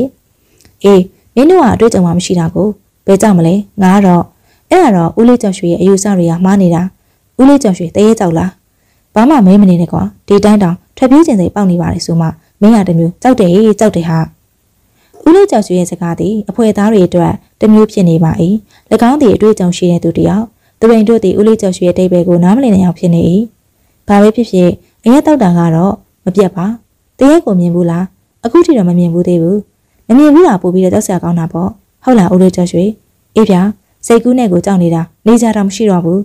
ချုပ်ပြောတာအဲ့ဒါပေါ့မမြင်ရတဲ့သူကမြင်ရတဲ့သူတွေထပ်ပို့ပြီးကြောက်တယ်ဆိုတာသဘောပေါက်သွားပြီလားမင်းမသိပါဘူးကွာအဲ့ဒါဆိုလေအရက်ကိုမူးအောင်တောက်ဗျာဟုတ်တယ်ကြောက်ရင်တောက်ကြဗျာငရေမိကအရက်ခွက်ကိုပေးလိုက်ပါတယ်ဦးလေးကျော်ရွှေတီတခါတည်းမောတောက်လိုက်၏ကျုပ်တဲ့နင်းနဲ့ထည့်ဗျာကျုပ်ကတိတ်မတောက်နိုင်ဘူးခေါင်းကိုက်ပြီးတော့မနဲ့ဆိုင်မတိနိုင်မှာပြဿနာဖြစ်နေမယ်တီးနိုင်မှာပါလေကိုလူနဲ့လက်မဲကြီးအောင်ဝါသနာတူတွေပဲခအော်ပြောလိုက်တဲ့အတန်ကြောင့်စိတ်ထဲတွင်ထိတ်လန့်ကုန်၏စကားပြောရင်အရက်တောက်လာတာအထောက်ကိုကျသွား၏ ကဲထမင်းစားကြအောင်တော့ကြအမိုးလွန်ကောင်းအောင်မယ်ထမင်းစားမှအမိုးတန်ကိုခံနိုင်ကြမှာပေါ့ဝန်တလောက်တော့စားကြဗျာငရေမင်းစကားကိုလက်ခံသည့်အနေနဲ့ထမင်းစားကြပါတယ်ချက်ထားတဲ့ရင်းမြကငွေးကြိုင်ပြီးအလွန်အရသာရှိတယ်သူရင်တို့အဖွဲ့စားတောက်ပြီးတဲ့နောက်ထမင်းစားကန်အပြင်ကိုထွက်လာခဲ့ကြတယ်ထိုချိန်တွင်ကျေလောင်တဲ့အတန်တွေထွက်ပေါ်လာတော့သူတို့တစ်ဖွဲ့လုံးတုံငနေဖြစ်သွား၏ရုတ်တရက်အနောက်ကိုလှည့်ကြည့်တော့ဟင်အမလီအထိတ်တလန့်ဖြစ်သွား၏လူတော်ကြီးတော်ကိုအထင်သာတွေ့မြင်လိုက်ရပါတယ် လူများသည်သူရင်တို့အဖွဲ့ကိုစူးစူးဆိုင်ဆိုင်ကြည့်နေတယ်မျက်လုံးတွေကနေရဲရဲတချို့ကစိမ့်ဖန်းဖန်းထိုလူတွေကိုကြာကြာမကြည့်ရအောင်ဖြစ်သွား၏။အော်စားပြီးကြပြီလား။လာလာအဖေရဲ့ခံကိုသွားကြမယ်။လောင်ဆန္ဒကိုတွေးလိုက်ရ၍ကြောက်စိတ်တွေလင့်ဆွင်ကဲပြောက်သွားပါတယ်။သူမသာရောက်ရှိမလာရင်အသက်တည်သွားနိုင်တယ်။သူရင်ဒီသူမကိုကြည့်လိုက်တယ်။သူမတည်သူရင်နဲ့စတွေ့တုန်းကမျက်နှာပုံစံမျိုးမဟုတ်တော့အလုံးချောမော့လှပပါတယ်။သူရင်တို့အဖွဲ့သည်လာအိုဆန္ဒသခင်မရဲ့အနောက်ကနေ လိုက်လာကြပါတယ်။သူတို့သည်တခန်းပြီးတခန်းကွေ့ပတ်သွားရင်လမ်းသည်တဖြည်းဖြည်းကျင်းလာတယ်။နှစ်ပေကျော်သုံးပေလောက်လမ်းသည်တခါတရံလူတကူစားအတိအကျကျင်းမြောက်ပါတယ်။လမ်းကလေးသည်တဖြည်းဖြည်းကျင်းလာတဲ့နေအမျှနေစင်းလာတယ်။လမ်းသည်မြောက်ခန်းစီသို့ဥတည်နေသည်ကိုထင်မှတ်နေတယ်။ထူးခြားသည်ကလှေကားတင်များအတိုင်းနေစင်းနေခြင်းမျိုးမဟုတ်ပဲအင်းဤအနာသက်တလျှောက်တပတ်ပြီးတပတ်ရှောင်ရင်တဖြည်းဖြည်းနေစင်းသွားသလိုမျိုးဖြစ်နေပါတယ်။တနေရာအရောက်တွင် လမ်းသည်အလွန်ကျင်းလာ၍ကိုကိုအသာကျုံထားရတယ်။သူတို့စိတ်ထဲတွင်ဘေးဝဲရနေရတဲ့ဖက်ကလက်ကွင်းတစ်ချက်တီးသလိုညက်ပိတ်ပစ်လိုက်လေလားအောင်းမိရပါတယ်။အနောက်ကလိုက်လာတဲ့အဖွဲသားတွေဘလို့ထင်တယ်လဲမသိသူရိန်စိတ်တွေကတောင်းလောင်းနေတယ်။နေရန်တီထင်မှတ်ထားသလိုဇချင်းကြောက်သားနေရမဟုတ်တစ်သားအုပ်ကြောက်ကြွေးပြအထက်သားချက်စင်ပုတ်တစ်မျိုးမှမဟုတ်လုံးဝမျောလိမ့်မထားတဲ့အရာတစ်မျိုးသူရိန်တီနေရန်ကိုဆက်လက်ကင်တွေ့ရန် ဝင်လေးသလိုမထီအောင်ကြိုးစားနေရတယ်။နေရန်ကိုဘာများနဲ့ပြုတ်လောက်ထားတယ်လဲဆိုတာသိချင်နေ၏မိရလေးရောင်မှတဆင်ကြည့်လိုက်ရအယောင်မှအညိုရောင်များတန်းနေတင်မှုဆက်လက်ကြည့်ရှုရန်ဝင်လင်းနေ၏ဟာနေရန်ကြီးကလေအုတ်နေရန်ကြီးနဲ့မတူဘူးတမျိုးကြည့်ပါလားမင်္ဂလာကြီးရဲ့အတန်ကြောင့်အားလုံးတတိယသွားကြသည်ဟာဟုတ်ပါဗျာတမျိုးကြီးပဲဟေ့စကားပြောစင်ကြမှာကွာအဖွေလေးကတယောက်ကပြောလိုက်တယ်အဖေရဲ့ခံကိုရောက်ပါပြီရှင်လောင်ဝဆန္ဒစကားကြောင့် အာယုံပြောင်းကုန်ကြပါတယ်၎င်းသည်ခမ်းမကျဲကြီးတစ်ခန်းကိုတွေးလိုက်ရတယ်အခန်းကြီးကိုတွေ့လိုက်တဲ့နဲ့သူရိန်အလွန်အံ့ဩသွား၏အခန်းကြီးသည်မန်းတဲ့ကြီးတစ်ခုတည်းမြကျန်ဝန်းတဲ့အခန်းတစ်ခုဖြစ်သလိုလူနေထိုင်တဲ့အခန်းနဲ့မတူပဲအနုပညာအခန်းကြီးတစ်ခန်းနဲ့တူနေပြီးတော့တယ်ဟာအလွန်ခံစားတဲ့အခန်းကြီးပဲဟုတ်လိုက်လေကွာကျန်လူများတည်အရန်မှုပြီးပဝန်းကျင်ကိုတတိမထားမိအောင်ဖြစ်နေကြ၏သူရိန်တို့သည်ခံစားတဲ့အခန်းကြီးတွေကိုဝင်ရောက်သွားပါတယ်တကန်းလုံး အောက်လင်းတံမီရောင်နဲ့လင်းထိန်နေပြီးနေရာမှာချိတ်ဆွဲထားတဲ့ပကြီးကားတွေကိုအထင်သာတွေ့လိုက်ရပါတယ်။သူမပြောတဲ့အတိုင်းဆိုင်းဝိုင်းတွေကလည်းပြည့်စုံစွာရှိနေပါတယ်။သူရင်ဒီဆိုင်းဝိုင်းကြီးကိုတွေ့လိုက်ရ၍တီးချိန်ချိန်များထိမရတားမရဖြစ်နေ၏။ဟာဘလို့ဖြစ်တာပါလဲ။လမ်းလေရဲ့ခြေလမ်းကိုရုတ်တရက်ရက်လိုက်မိ၏။အဖွေသားများဘာမှမဖြစ်ပေမဲ့သူရင်အတွက်တော့ခြောက်ချနေ၏။ဆိုင်းဝိုင်းရဲ့အရှိတွင်ဂရင်နှလုံးရှင်၍ချထား၏။ဂရင်ပေါ်တွင်လူနှစ်ယောက်၎ င်းတို့သည်တည်ဆုံးနေသူများဖြစ်ပါတယ်။သူရင်ဒီလောင်ဆန္ဒဆိုတဲ့မိန်းကလေးအားကြည့်လိုက်ရာလောင်ဆန္ဒရဲ့မျက်နှာသည်ရွှင်လန်းမှုမရှိဘဲကြည်ကွင်းနေ၏။မရေမေးဆိုသူသည်အောင်လင်းမီကိုတနေရာတွင်ချိတ်ဆွဲပြီး၎င်းတို့ဖွဲ့အိတ်ဆက်ရန်ပြင်ဆင်ပေး၏။သူရင်သည်ကတင်ပေါ်ကအလောင်းကြီးအားကြည့်နေသည်။အလောင်းကြီးရဲ့လက်နှစ်ဖက်မှာချင်းအောင်ထားခြင်းမရှိအိပ်ပျော်နေသလိုခန္ဓာကိုယ်ရဲ့ဘေးညာမှာလက်များချထား၏။အလောင်းကြီးကဖြော့တော့၆ဆပြုတ်နေပြီမြညာဘက်လက်ကြီးက ကက်တရာစီတုတ်ထားသလိုလက်မောင်ပြောင်းလဲနေပါတယ်။သူရင်သည်လက်မဲကြီးကိုတေချာကြည့်နေ၏တွေ့လိုက်ရတဲ့မြင်ကွင်းကြောင့်အလွန်တုန်လှုပ်သွားပါတယ်။ပလက်အနေထားရှိနေတဲ့လက်မဲကြီးကတစ်ဖက်ကိုပြောင်းလိုက်တယ်လို့အနေထားပြုတ်လုလိုက်သည်အမလီဘာဖြစ်တာလဲသူရင်ဘာဖြစ်တာလဲသူရင်အဖြစ်မှန်ကိုအမှန်တိုင်းပြောရန်ဝင်လင်းနေသည်၎င်းတို့ကိုပြောလိုက်ရင်မဖြစ်တဲ့နာတွေဖြစ်ကုန်မှစိုးရင်ရတယ်ဘာမှမဟုတ်ပါဘူးဗျာဒါနဲ့တခင်မကိုခွင့်တစ်ခုလောက်တောင်းချင်လို့ပါပြောလေ ဘာလို့အဲ့လိုလဲအမနာပါနဲ့ပြောပါကိုသူရင်ဒီလိုပါကျုပ်တို့ဒီရမှာကဒီဆိုင်ဝိုင်းကြည့်လားဟုတ်ပါတယ်မကြိုက်လို့လားသူရင်ဒီစကားလမ်းကြောင်းပြောင်းလိုက်ရတယ်တွေးလိုက်ရတဲ့မြင်ကွင်းမှာအလောင်းစင်ပေါ်တွင်အလောင်းကနှလောင်းဖြစ်နေ၏မိခဲ့သူဖြစ်ရတာလေတယောက်တည်ဆုံးပြီးနောက်တယောက်တည်ဆုံးတာလားပြိုင်းတူတည်တာလားမတမာသူတွေတက်လိုက်တာလားဒုနီယာကိုလာတော့ကတွေးလိုက်သည့်လူများသည်လက်မဲကြီးကိုမကောင်းဆိုပါလို့မြင်နေကြတယ်၎င်းကိစ္စကိုလည်းသိကျင်နေ၏ မေးရလည်းအလွန်ခက်ခဲနေ၏အင်မတန်ကြိုက်ပါတယ်အလွန်ခမ်းနားတဲ့ဆိုင်ဝိုင်းကြီးပဲဗျာမကြိုက်စရာမရှိပါဘူးကြိုက်လွန်းလို့တီးကွက်၃လေးကွက်လောက်အစမ်းတီးကြည့်ကျင်လို့ပါညဘက်ဆိုတော့ပတ်ဝန်းကျင်ကိုအားနာလို့အရင်ခွင့်တောင်းကြည့်တာပါ။အိုးဘာမှအားမနာပါနဲ့ရှင်သာတီးမယ်ဆိုရင်အဖေရိကတိတ်ကြိုက်တာတီးပါရှင်။ကျမလည်းရှင်တို့အဖွဲ့လက်တံမိဆန်းနားထောင်ရတာပေါ့။အလုံးကျေးဇူးတင်ပါတယ်ဒါပေမဲ့ဒါပေမဲ့ဘာလဲကိုသူတွေအားမနာပါနဲ့မေးစရာရှိတယ်ဆိုရင်မေးပါ လမ်းကြောင်းပေးနေတဲ့သူမကိုတစ်ချက်ကြည့်လိုက်ပါတယ်။စိတ်ထရချင်းနဲ့နေမိတယ်။သူမတွေသူတွေမေးလိုက်တာကိုဖြေမြေးကိုထင်မှတ်နေတယ်။ကိုသူတွေမေးမယ်ဆိုတာပါလေမေးပါကျမကိုအာမနာပါနဲ့ရှင်းရဲ့မိကွန်းကိုလည်းကျမဖြေနိုင်နိုင်မယ်လို့ထင်ပါတယ်အဲလိုပဲရှင်းဘက်ကလည်းယူသားတဲ့မိကွန်းမျိုးဖြစ်လိမ့်မယ်လို့ထင်တယ်သူမစကားကြောင့်သူတွေဘာပြောရမှမသိအောင်ဖြစ်သွားပါတယ်တကယ်တော့သူတွေသိကျင်တာကအလွန်ယူသားသည်တစ်ဖက်သားနင့်နာစီလိုတဲ့စိတ်မရှိပါလောင်တကယ်မှဒီသူတွေအနာကိုတိုးကက်လာ၏ နှစ်ယောက်သားထီလို့မတက်ပင်ဖြစ်နေပါတယ်သူမရဲ့အကြည့်များသည်သူ့ရဲ့နှလုံးသားကိုလှုပ်ရှားစေ၏ဟင်အိုး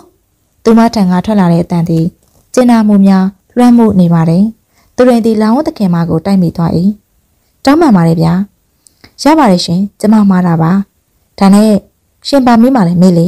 တခြားတော့မဟုတ်ပါဘူး။အခုအလောင်းကနှလောင်းဖြစ်နေတယ်။ဘာကြောင့်လဲ။သူတို့နဲ့ခမရဘလို့တော့ဆက်လဲ။ဒါအလွန်ကောင်းတဲ့မိကုံပါ။ကျမလည်း အဲလိုတူကိုရှာနေရကြပြီ။ဘယ်သူမှမမေးတယ်လို့မေးရမှာကြောက်နေတဲ့သူတွေအများကြီးရှိတယ်။ကျမမှမိဘနှစ်ပါးစလုံးမရှိကြတော့ဘူး။အဲ့လိုပဲမိဘများရဲ့မျက်နှာကိုလည်းမမြင်ဘူးလိုက်ဘူးဘာလို့မမြင်ဘူးတာလဲကျမရက်သားမှာတေဆုံးသွားကြတယ်လို့ဖေဖေကြီးကပြပြလို့သိရတယ်ဖေဖေကြီးဆိုတာလက်မဲကြီးကိုပြောတာလားအားလုံးကလက်မဲကြီးတွေပဲဖေဖေကြီးဆိုတာမရှိတော့ဘူးတည်သွားပြီကျုပ်နားမလဲတော့ဘူးကျမလက်ခံပါတယ်ရှင်းသိအောင်ပြောပြပါမယ် ကျမကိုမွေးစားတာ၃ယောက်ပါမွေးစားဖေ၃ယောက်ပေါ့ရှင်သူတို့တွေကလူပြိုကြီးတွေလော်ကီပညာလောက်ကိုလောက်ကြတယ်စိတ်ပေါ်တယ်ဖိုးထိုးတယ်တရားအထုတ်တယ်အလွန်ချမ်းသာကြွယ်ဝသူတွေဆိုတော့အလုံးမလုံးလဲစားနိုင်တယ်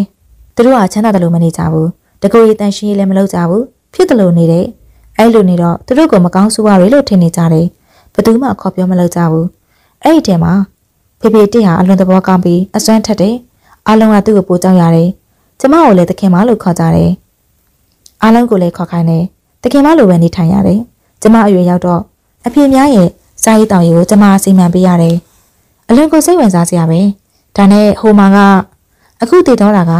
တယောက်တည်းပါ။တယောက်ကမသေးပါဘူး။ဂရိတွေထားခဲ့ကြတယ်။တယောက်တည်သွားရင်ကျန်တဲ့သူက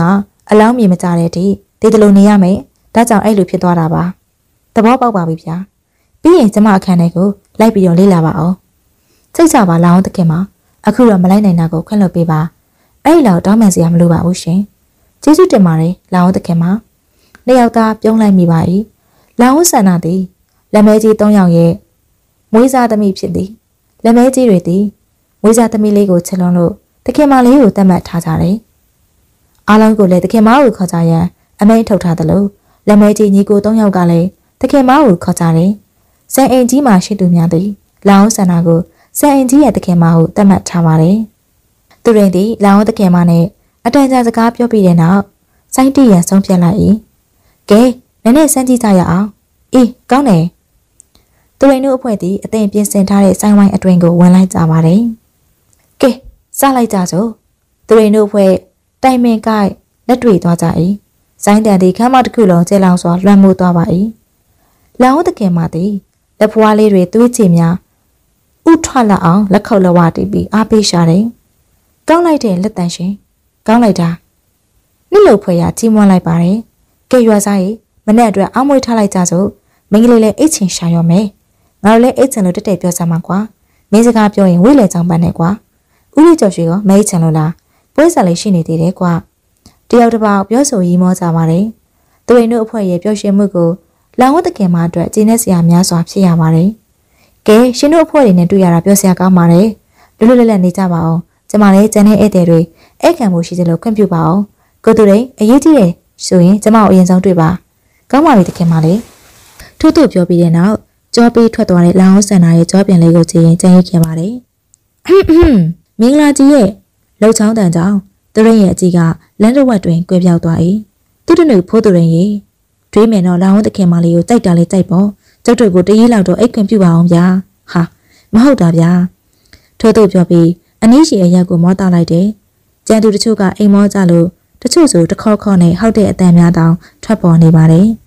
ဘသူတွေပါပဲပြောပြောသူရင်ကတော့အဆိုင်ဝိုင်းကြီးတွေကပလုံးလေးတွေကိုတီးရတာအလွန်ကိုကျေနပ်ပျော်ရွှင်နေမိပါတယ်သူရင်သည်ဝိုင်းကြီးအတွင်ကပလုံးလေးများကိုတီးရင်စိတ်ထဲမှာအရင်တစ်ခုပေါ်ထွက်လာ၏ တခုကအရာရာကိုနားလည်မှုပေးပြီး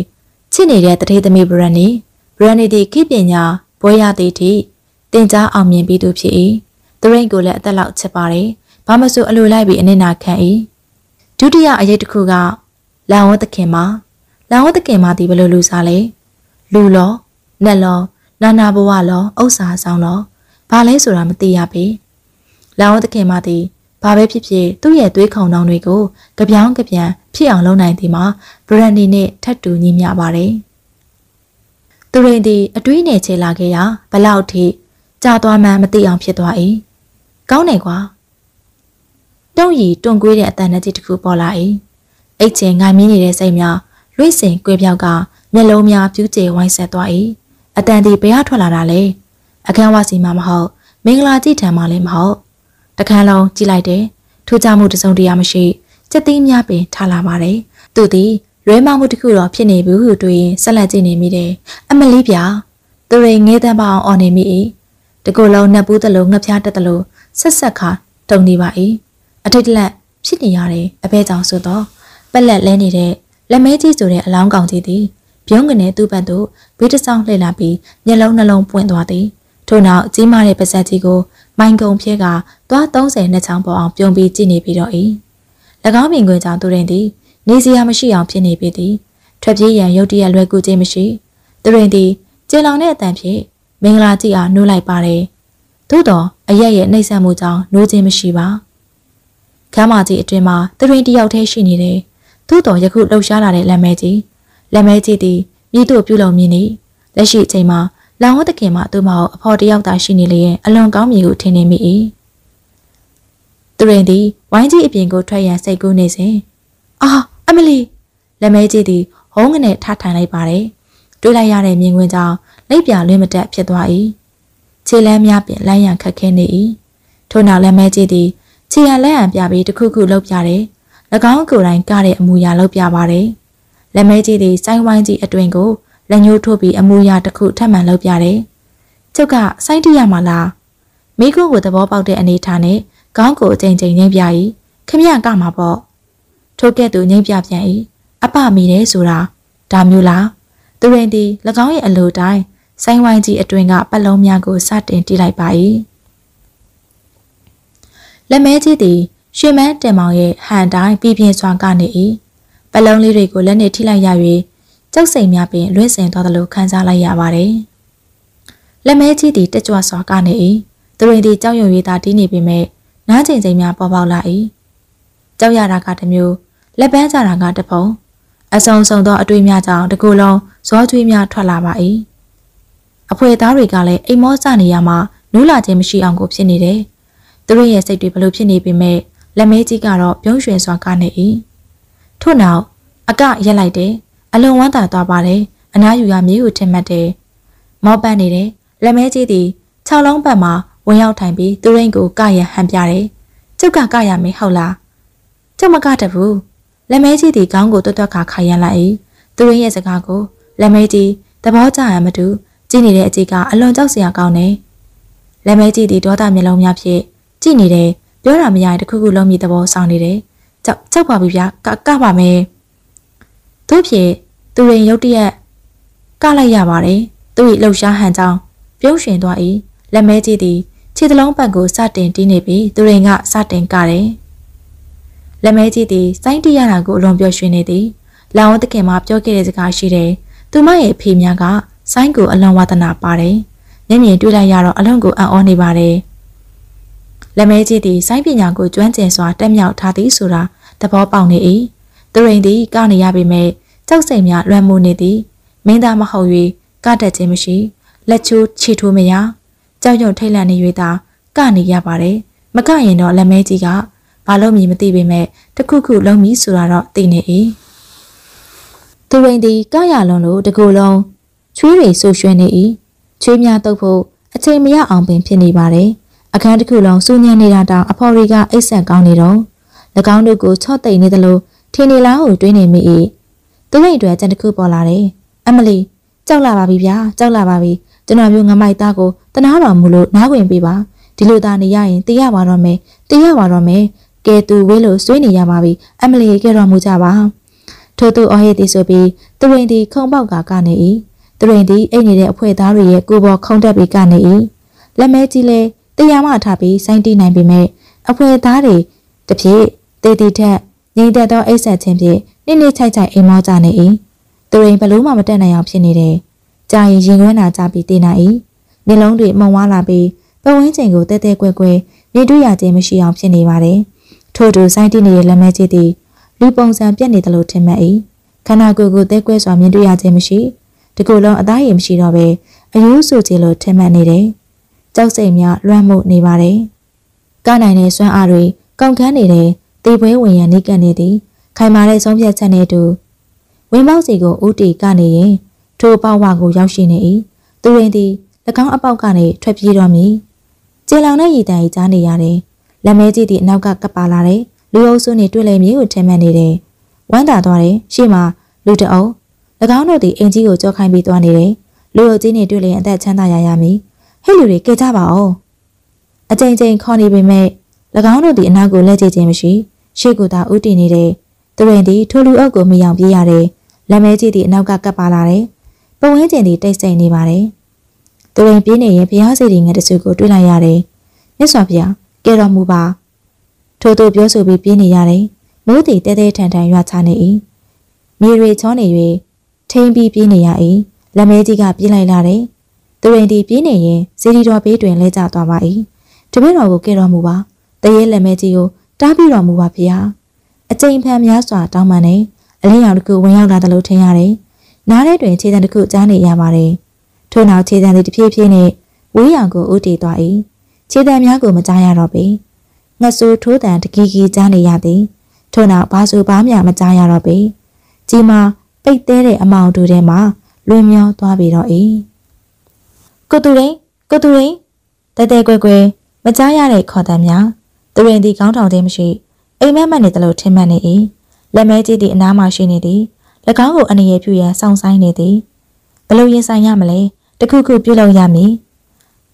၎င်းတည်လို့မဖြစ်အသက်လောက်ချင်းရတဲ့ brand ရှိသေးသည်သူတာလူလောကမှာမရှိတော့ရင်သူမှလည်းလူလောကမှာအသက်မရှင်တော့ဘူးဟုပြောထားတယ်ဘာလို့ရမလဲ